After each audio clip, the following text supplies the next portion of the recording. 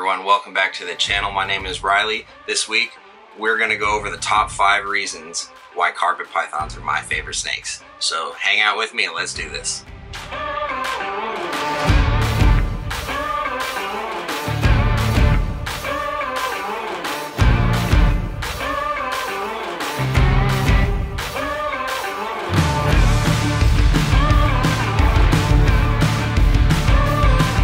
So to help me demonstrate this here is going to be one of my breeder female tiger het axanthic coastal carpet pythons. And reason number one why carpet pythons are my favorite is their beautiful variety.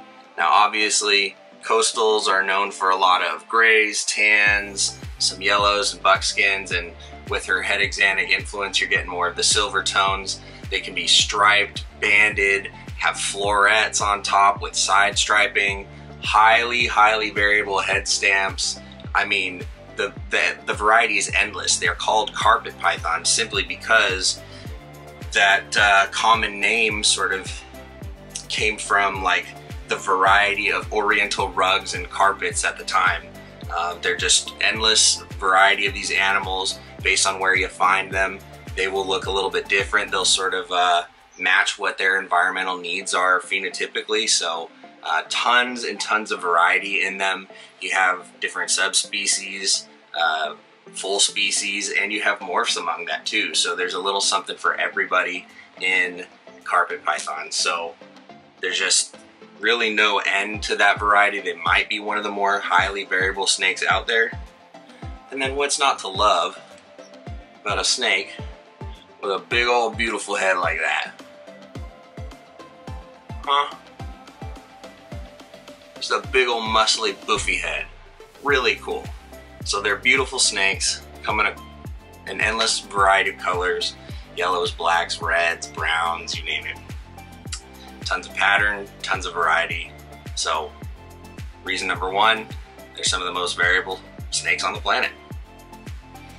So my second volunteer to help me demonstrate with today's video is this beautiful adult male coastal tiger het axanthic, sibling to the one you just saw. And he's here specifically to help me exemplify reason number two why carpet pythons are some of the best snakes out there, and that's their size. You're looking at an average, for the majority of them, five to seven feet. You can influence that a bit with feeding or lack thereof, influencing some seasonal variation, prey variety, things like that. And you can push them to big eight, nine foot monsters, but chances are they're not going to see their 10th birthday.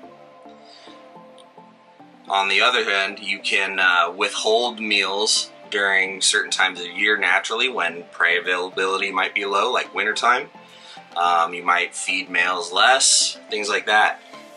The last clip you saw was an adult female. This is an adult male. Same age, same everything, really. Um, and he's a fraction of the size. So, granted, I could have probably influenced his size to be bigger if I fed him the same as her, but typically speaking, that's not necessary. A lot of people are probably sitting here going, well, what about the 9, 10 footers of cotton, you know, Southern Australia? There are some big ones over there. I'm to specifically talk about uh, what we have here in the United States and specifically in the pet and uh, breeding sort of world um, just, you know, here in our home. So for the most part, their size is going to average between five to seven feet. That's not going to require a huge footprint of space at home. Mom and dad aren't going to be too upset. Probably a little bit much for a college dorm room, but anything after that, you're, you're pretty groovy. So um, there's a lot of commercially available enclosures that uh, would be suitable size for an adult carpet python, both male and female. So Reason number two why I love carpets, their size. It's a fun size. Not too big, not too small. Pretty much a good size for everybody. Alrighty. So, the third reason why carpet pythons are my favorite is their temperament. Now, how many of you have heard that carpet pythons are bitey, they're not very friendly or they're nippy. Well, they certainly can be. Um, as a breeder who's produced a couple hundred at this point, I would say very few of them stay that way. Babies will hatch out nippy, but that's pretty typical. They're tiny and they've got to do that in order to defend themselves naturally. So instinctually, that's that's what you want to see a, a hardy defensive baby who's not uh, willing to just roll over and die. You want something that's willing to strike and defend itself, and ultimately those make the best feeders. And then naturally, with some socialization and handling, they can become super adventurous, curious, inquisitive animals that are fun to handle. Um, as you've seen in the previous two clips, the adults that I, I brought out were not just sitting still, but they weren't running all over the place in an unmanageable fashion. So, um, pretty cool to hang with. Once you socialize them, they're they're very fun. Oftentimes, you don't really have to do any work socializing them, especially if a, a small time breeder is where you're getting them from probably, you know, have the time to, to handle them once in a while and even just, you know, the first few months of cleaning and taking care of animals, you're, you're spot cleaning, you're picking them up, you're doing all this stuff, you're going to give them a lot of experiences with people and as long as you, you know, don't exacerbate it, generally babies mellow out. And then they stick with that behavior into adulthood. The one thing I will say is when lights go out, and it's nighttime, whether there's food out or not, they have a very, very intense feeding response at night.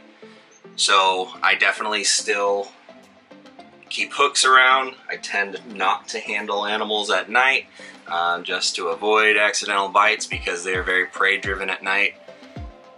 But yeah, their temperament's wonderful. They're inquisitive. I trust the majority of my snakes passed off to people who've never handled them, strangers, kids, you name it. Um, and oftentimes I hear the most uh, excited exclamations of, of surprise from folks who had heard that they were nippy or bitey and then maybe took the plunge into one or, or held one for the first time. So it's really encouraging to hear that uh, maybe that stereotype that they're nippy and, and bitey snakes is, is slowly but surely fading away. So with that, number three reason why carpet pythons are my favorite is they have an excellent temperament and they are fun to handle. Reason number four that I find carpet pythons to be my favorite snakes is their hardiness. These are some of the toughest snakes you'll find. You want to talk about harsh environments. Australia is widely regarded as a very tough place to live, known for all the sorts of venomous and dangerous critters that want to kill you, not to mention the tough, hot environments. Um, so who better to demonstrate that than a Bredl's python, Morelia bredli, straight out of, uh, you know, some of the hottest, harshest terrain in Australia. Um, anecdotally, these snakes really like it cold. Talk to any keepers that work with them in, in any sort of capacity with intent to breed or keep them naturally. They really enjoy the cold. They seek it out in the enclosure more often than not. And in order to successfully breed them and stimulate folliculogenesis in females and spermatogenesis in males, you gotta get them really stinking cold. So this is a het stonewash male of mine and he's here to demonstrate as opposed to my bigger adults that are at the shop because they're getting cooled down into the 50s. So I've got a Govee reader over there um, in the back of the shop with them and it is hitting literally 50 degrees at night some nights. So with any luck, we'll have some good uh, success with breeding them, but it just goes to show you how tough some of these animals are. You hear a lot of Morelia keepers refer to the phrase that they're very forgiving of keeper error. Now, not to encourage negligence or poor husbandry, they are okay if you forget to feed them for a few weeks or you go out of town or something like that or a, a heating element isn't working for a couple days, whatever. You're not going to have any issues. Um, definitely take care of your animals and mind your P's and Q's, but they're some of the toughest snakes you'll find. Very forgiving. Um, you can set them up in a variety of, of orientations, vertically, horizontally, give them a lot of different stuff, and, and they're pretty much gonna roll with it as long as they can get warm during the day, they're good. So reason number four why I love carpet pythons is they are some of the hardiest animals, some of the toughest snakes out there. All right, it's that time. The fifth and final reason why I absolutely love carpet pythons, as demonstrated by this beautiful wild caught poplin carpet is that these things always eat. Like almost always eat. The rare exception to that are new hatchlings when you're first getting them established. Some of them will be a little tricky. There's always that one or two in the bunch. But for the most part, these things are born to eat. Now in the wild, it's been studied and speculated that fresh hatchlings are going to be eating on skinks and geckos and whatnot. But in the hobby, they very readily eat rodents for us. This animal, literally being wild caught, as a baby, came in, and I've had her for probably a year now, maybe more. Um, has been taking rodents no problem, even for the importer who had her. And it just is a wonderful testament. There's nothing more frustrating to me than snakes that don't eat.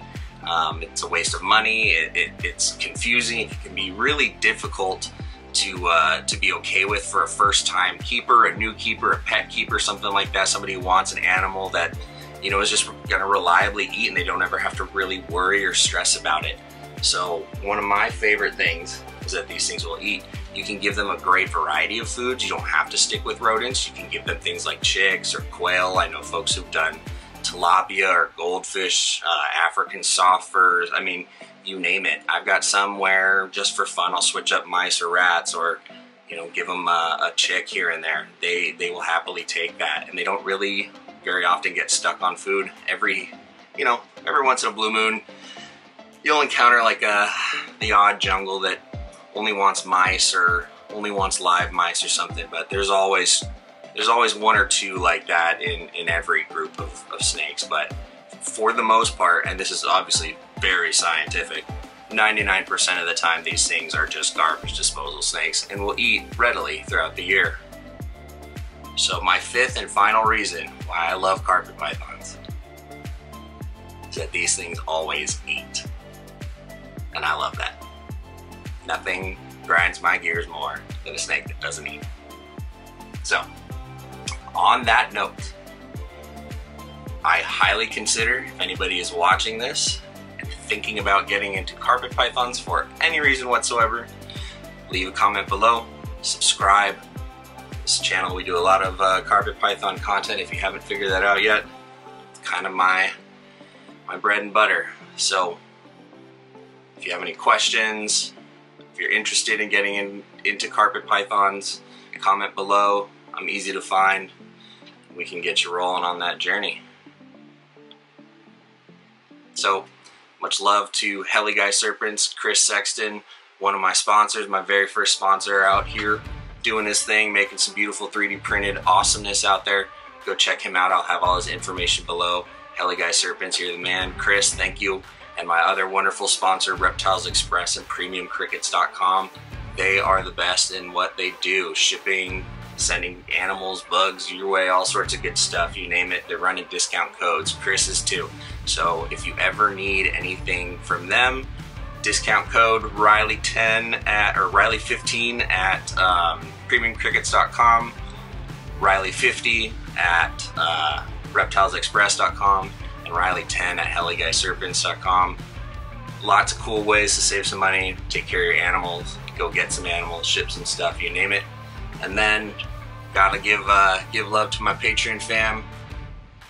If you want to join the uh, the awesome community that we've got slowly growing, look me up under uh, Riley Jimison on Patreon.